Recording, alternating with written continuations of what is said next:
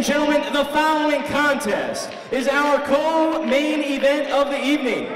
This match, set for one fall, is for the NWL Kansas City Championship. You heard Ben Simon correctly. This is the co-main event for the evening and one heck of a matchup that we have in store for you. Last week, this man right here, Hans Ruger, newcomer from Austria, answered the Dak Draper Dreams Come True Challenge, and he hoped to take home that Kansas City Championship back to Austria. Can you imagine the Kansas City Championship leaving the country? That would be absolutely horrible. I bet President Trump would absolutely hate that. There's no way that's going to happen tonight. Hans Ruger definitely has his his work cut out for him and the Kansas City champion, the man who has defended his belt now on two different occasions, and that would be the Mile High Magnum, Dak Draper.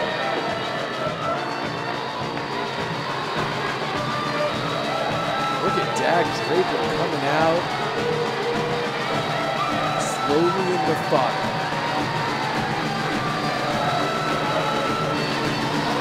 Wow! Wow. Would you look at that? The Mile High Magnum, Dak Draper, has got pyrotechnics now here in the NWL. Well, look, when you're the uh, champion, you deserve pyrotechnics, and uh, you deserve all the accolades that come with being the Kansas City champion. The Mile High Magnum, Dak Draper. I'd be willing to bet Dak Draper is such an egomaniac that he was the one that actually commissioned those pyrotechnics himself. Uh, I would bet that there's some local pyrotechnic company here in Kansas City that was just begging to do it for Dak Draper. Everybody wants to be a part of the Dak this Draper match train. is set one fall. Climb aboard. for the Kansas City Championship. Your referee is Todd Countryman. Introducing first, the challenger from Vienna, Austria, weighing 107 kilos, 235 pounds. Please welcome Hans. Look at the shape this man from Austria is. Impressive. Absolutely a physical specimen for sure. And ladies and gentlemen, very wearing tan. white from Denver, Colorado, weighing 244 pounds, he is the defending NWL Kansas City champion, the Mile High Magnum, Dak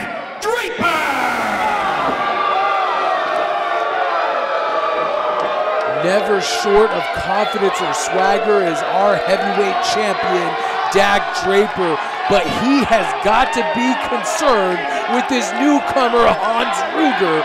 And if he is able to defeat Dak Draper tonight in his first outing, what does that mean for our champ, Dak Draper? Well, it just goes to show you the amount of confidence that a guy like Dak Draper has. He's willing to make that challenge against a guy who's obviously a great looking athlete. We don't know what he can do inside the ring yet, but that just shows you how good Dak Draper is. He doesn't care who it is, when it is. He's the Kansas City champion, and he's taking on all comers.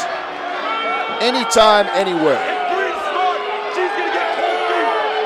So Blaine Meeks, that's the reason you don't get your rematch, because this guy is out taking care of business. He's got a long line of people to beat, and maybe, someday, maybe soon, Blaine Meeks will get another chance. But he's got to wait at the end of the line. Your perspective is so different than those of us that are actually watching what's transpiring in front of us because you know that Dak Draper has been avoiding Blaine Meeks like the bubonic plague because he knows next time he locks up with Blaine Meeks, Captain KC, that belt is going home with Blaine Meeks. Well, you think so, huh? I think that Dak Draper is the most confident champion that we have ever seen here in Kansas City, and that could be that goes back for decades. Uh, and I will say that I don't think Dak Draper is afraid of anything. You just you just want your buddy Blaine to do well. You're part of that uh, that generation where everybody deserves a trophy, right? So. Blaine, because he tried hard, he should be the champ. Well, Blaine, you didn't have it, and you're not the champion, and you got to wait at the bottom of the lot list. Bell has sounded and we are underway. Hans Ruger and Dak Draper. And what I expect in this match is we're gonna we're gonna have a feeling out process bet- between these two big athletes. They're to try to figure out the other one's weakness, if there is one, capitalize on that, and pick up the one, two, three. And it looks like Dak Draper has just got the better of a strength contest in that collar and elbow tie. Dak Draper didn't get to be the Kansas City champion by uh, luck. It just didn't just happen to him one day. This guy spends hours and hours in the gym, in the ring, doing all sorts of things to make sure that he is in the top physical condition. And not only that, but that he's also at the top of his game skill wise as well. I don't know why you act so surprised about things like that. Once again, the two bulls have locked horns and they are embattled in a test of will and a test of strength with the collar and elbow tie up. And now it looks like Ruger may have gotten the best of that one. And Todd Countryman putting that count on both of them. He may have had a little bit of hair there, I think. That's probably why he got the better of that exchange. Dak Draper taking exception to it. Dak Draper frustrated by the strength perhaps of Hans Ruger and puts a boot right into the midsection and locks in that side headlock. Ruger down to the mat hard. Dak Draper got a little bit of that drop kick, and now that that display of strength that we've seen, Hans Ruger puts the, an end to that. Rolls Dak Draper over, shoulders not down yet. Now it is. Countryman making the count, only gets a one. Hans Ruger once again locks in that side headlock. Transitions for Dak being into putting that side headlock on him. Well, you're right, Miller. There certainly is going to be a little bit of a feeling out process here. Both men not really wanting to make a mistake as of yet. Not that you ever want to make a mistake, but you're not putting yourself out there uh, and being vulnerable with somebody who you really don't know a whole lot about. I don't know anything about this Hans guy. I don't even know if he's really from Austria. He looks, uh, he could be from Mexico, as far as I know. Arm drag takeover. Hans Ruger's going to try to connect with that elbow drop again, right into the chest. This one actually hits and gets a two count. Smart move there by Dak Draper. Things getting a little out of hand. Da, uh, oh, now he look at him.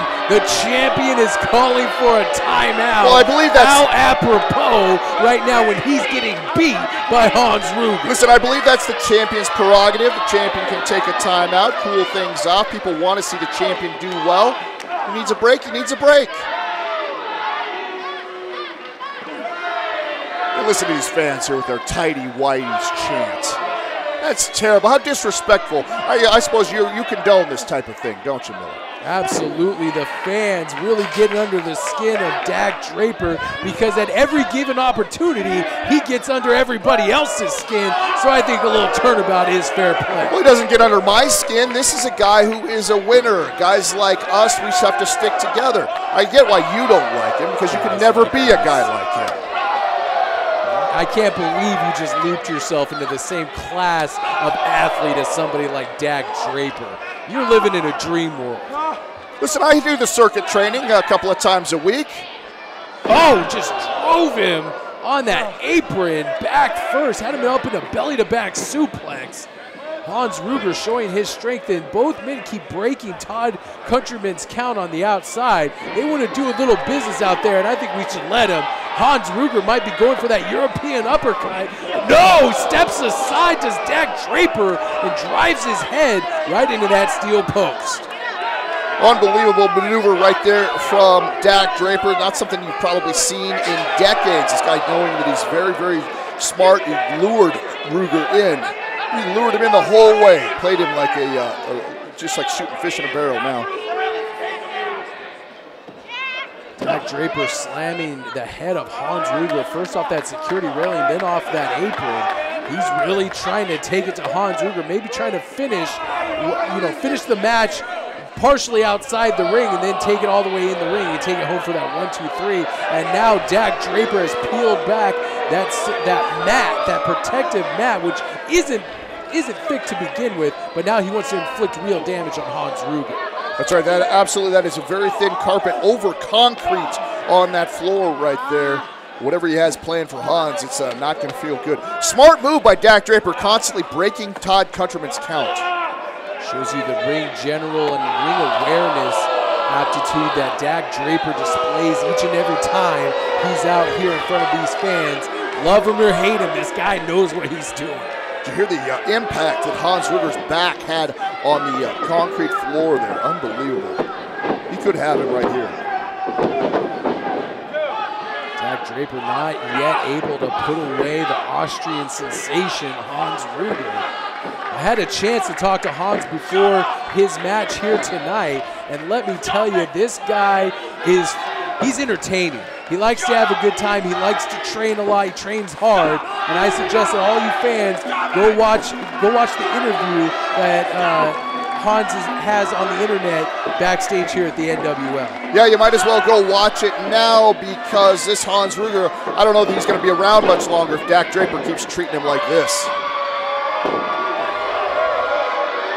Dak Draper firmly in control of this match, showing you why he is the first and the greatest Kansas City champion. Oh, that leaping knee just drove right into the forehead of Hans Ruger like a surgeon with that precision on the knee leg. drop. Dak Draper still trying to figure out the key. What is it going to take to put someone like Hans Ruger away?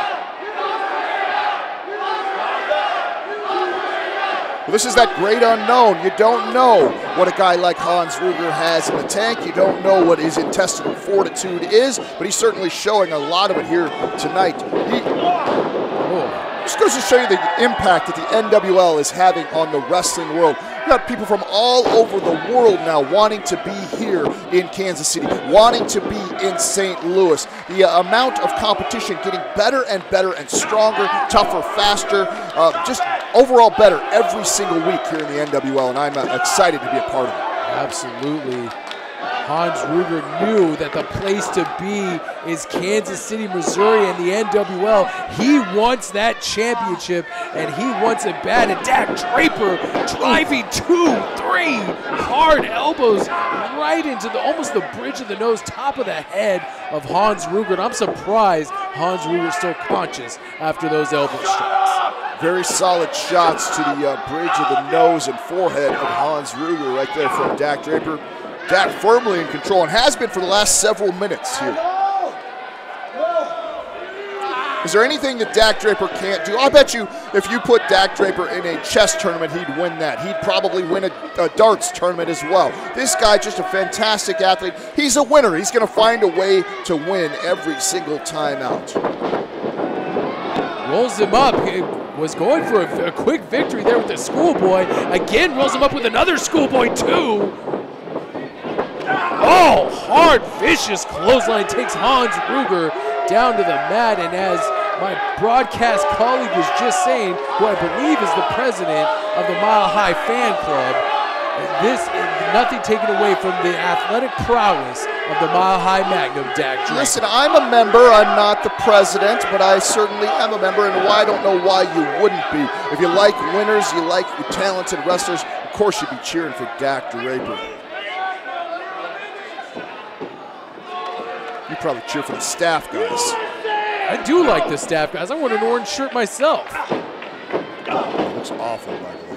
Driving knees right into the solar plexus of Hans Ruger sends him hard into the far side. Here, Hans Ruger get, able to get that elbow up right in the jaw of Dak Draper. A boot up again against the face of Dak Draper, and Dak Draper keeps coming. Hans Ruger takes him down with a shoulder tackle. Hans Ruger a little, a little woozy on his feet and pancakes. But Dak Draper just pancakes Hans Ruger in the middle. One, two, oh, so close. Hans Ruger gets that left shoulder up. That might have been our closest near fall of the matchup so far. Very, very close there. Dak Draper, I think he thinks that was a three count, and I can say uh, very well could have been.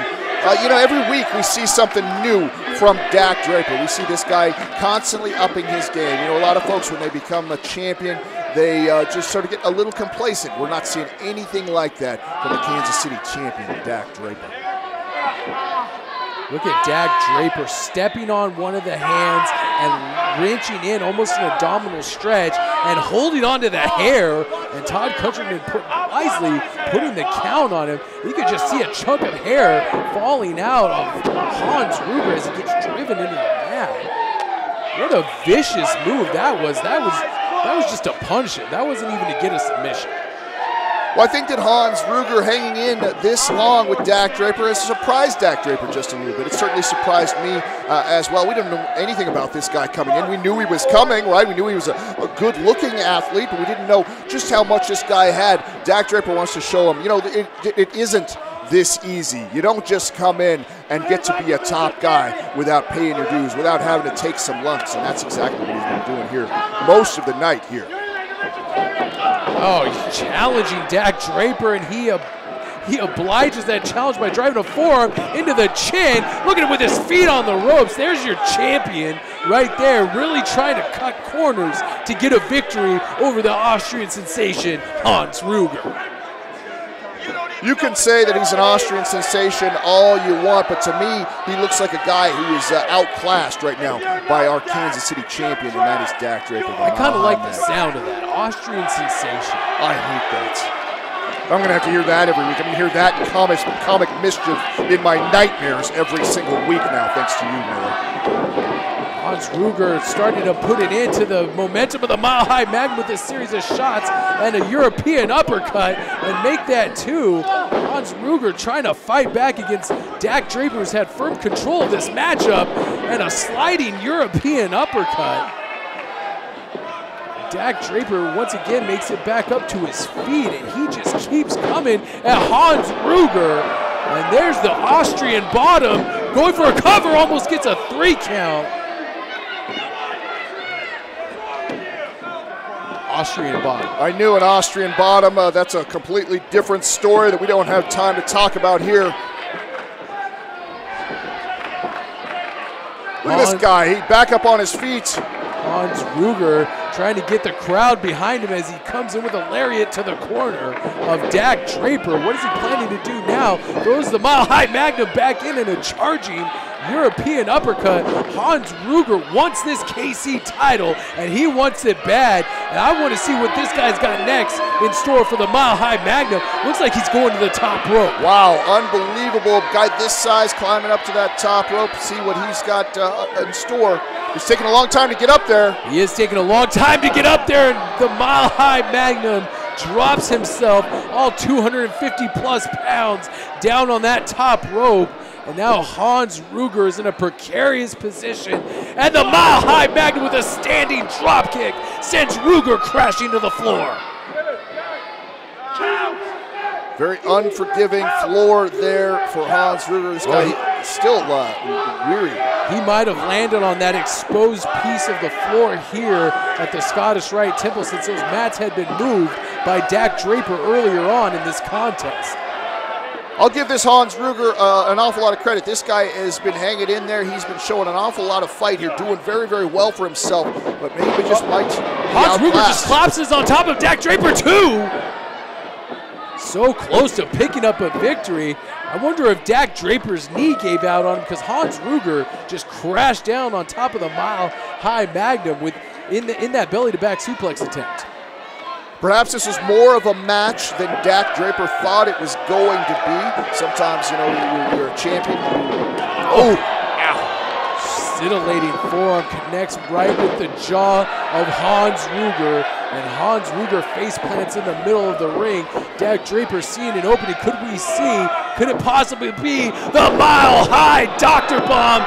Two, three, and Dak Draper successfully defends his Kansas City championship.